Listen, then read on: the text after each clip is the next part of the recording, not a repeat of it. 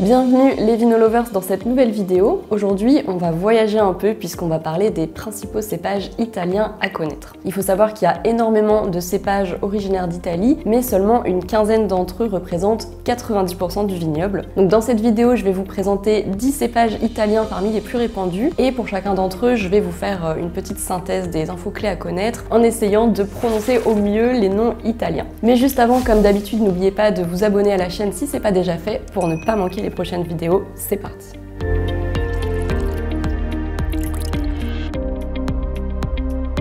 On commence tout de suite avec les cépages rouges et on verra les blancs dans la seconde partie de cette vidéo. Le premier cépage rouge italien à connaître, c'est le Sangiovese, qui est le cépage le plus planté d'Italie. Il trouve ses racines en Toscane, mais il a également conquis d'autres régions viticoles italiennes comme la Romagne, l'Ombrie et les Marches. Et on le retrouve aussi à l'international, notamment en Californie et en Argentine. Et alors, qu'est-ce qui rend euh, le Sangiovese si spécial? C'est un cépage doté d'une peau épaisse et de baies riches en tanins, donc il donne généralement des vins plus corsé, au tanin fin, avec des arômes de fruits rouges comme la fraise, la framboise, la cerise et aussi des notes de réglisse. Le Sangiovese est utilisé pour produire une grande variété de vins, allant des vins jeunes et fruités aux vins plus complexes et vieillis en fût de chêne. C'est notamment le cépage utilisé pour produire l'emblématique Chianti, mais aussi le Brunello di Montalcino ou encore le Vino Nobile di Montepulciano. C'est aussi un cépage qu'on va retrouver en assemblage, par exemple avec du Cabernet Sauvignon ou du Merlot. Et pour finir, une petite anecdote sur le Sangiovese, son nom signifie sang de Jupiter.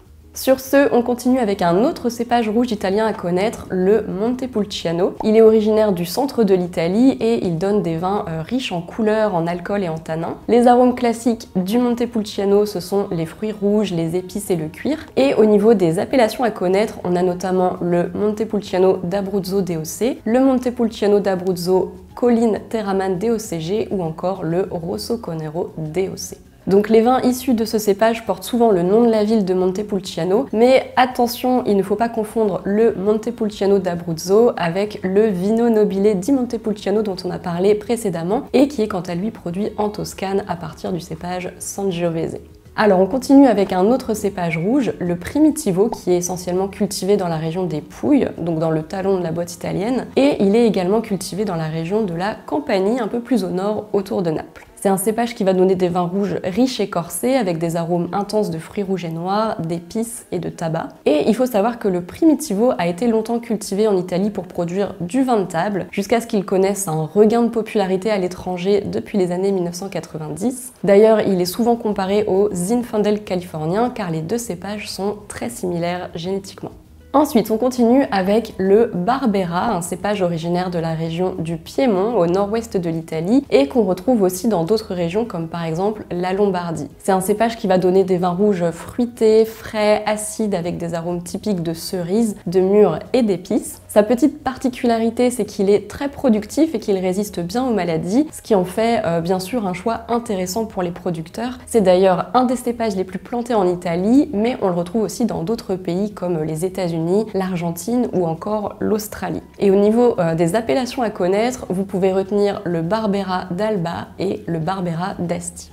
Alors on continue avec un autre cépage rouge italien à connaître, le Nebbiolo. Il est principalement cultivé dans la région du Piémont et c'est l'un des cépages les plus réputés d'Italie. Il donne des vins puissants, tanniques, avec une belle acidité, donc tout ce qu'il faut pour faire des vins de garde qui vont bien vieillir. Au niveau des arômes typiques, on va retrouver des fruits rouges comme la cerise, mais aussi des notes de truffe et de tabac. Le Nebbiolo est le cépage utilisé dans les appellations Barolo et Barbaresco, qui sont très réputés pour leurs vins rouges et qui sont d'ailleurs considérés parmi les meilleurs vins italiens. Et la petite anecdote sur le Nebbiolo, c'est que c'est un cépage euh, réputé capricieux, donc il est difficile à cultiver et à vinifier, mais quand les conditions sont réunies, il donne des grands vins de garde euh, très complexes et très qualitatifs que je vous encourage d'ailleurs à goûter.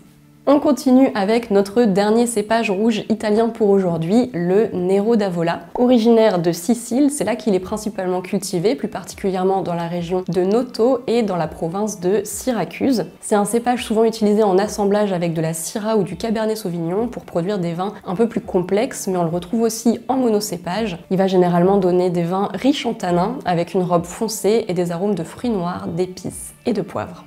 Alors voilà, on a terminé notre tour des cépages rouges. On va pouvoir passer maintenant aux cépages blancs italiens à connaître. Et on commence avec le Trebbiano, euh, un cépage très répandu en Italie qu'on connaît également en France sous le nom d'Uni Blanc. Donc en Italie, on le retrouve dans plusieurs régions, notamment euh, en Toscane, en Ombrie et dans les Pouilles. C'est un cépage qui va donner des vins blancs légers et frais avec une acidité élevée et des arômes de fruits blancs et d'agrumes. Donc on va pas être sur des vins blancs très complexes avec ce cépage. En Italie, on utilise utilise surtout le Trebbiano pour faire euh, des vins de table plutôt simples et frais, ou alors en assemblage avec d'autres cépages pour qu'il apporte de l'acidité et donc de la fraîcheur au vin, puisque c'est un cépage qui a vraiment beaucoup d'acidité.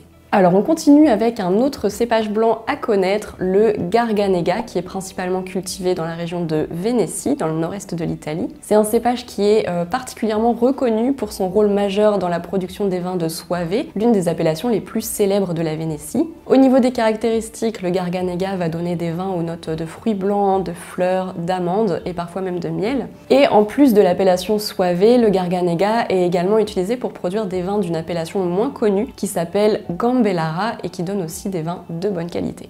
Ensuite, on continue avec le Glera, qui est lui aussi principalement cultivé dans la région de Vénétie, au nord-est de l'Italie. Il est surtout connu pour être le cépage principal utilisé dans la production du Prosecco, qui est le fameux vin blanc effervescent italien que vous avez sûrement déjà goûté. Donc le Glera donne des vins avec euh, une belle acidité, des arômes de fleurs blanches, de pommes, de poires ou encore de citron. Il peut aussi être utilisé pour fabriquer des vins tranquilles, donc des vins non effervescents. Et la chose à savoir, c'est que le cépage a changé de nom en 2009, puisque le S'appelait autrefois Prosecco, donc comme le vin effervescent, et c'est pour éviter euh, bah, la confusion entre le nom du cépage et le nom du vin que ce changement a eu lieu en 2009.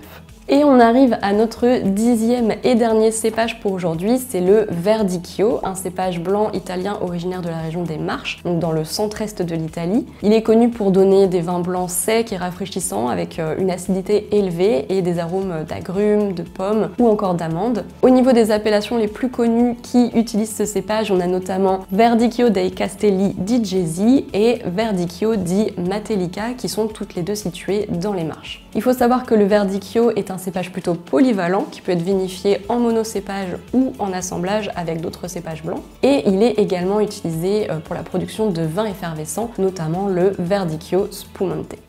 Et voilà, je pense qu'on a dit l'essentiel sur ces 10 cépages italiens. J'espère que ça vous a plu et que ça vous a permis bah, de découvrir des choses. N'hésitez pas à me dire en commentaire si vous connaissiez déjà ces cépages ou pas et si vous avez déjà goûté des vins italiens élaborés à partir de ces différents cépages. J'ai fait de mon mieux au niveau des prononciations, j'espère ne pas avoir offensé euh, les Italiens qui regardent cette vidéo. En tout cas, n'hésitez pas à mettre un petit pouce bleu euh, pour soutenir la chaîne et si vous voulez en savoir plus sur le vin, j'ai créé un petit cours d'onologie gratuit en 5 vidéos. Je vous mets le lien directement en description pour ceux que ça intéresse. Voilà, merci d'avoir regardé la vidéo jusqu'au bout et à très vite, salut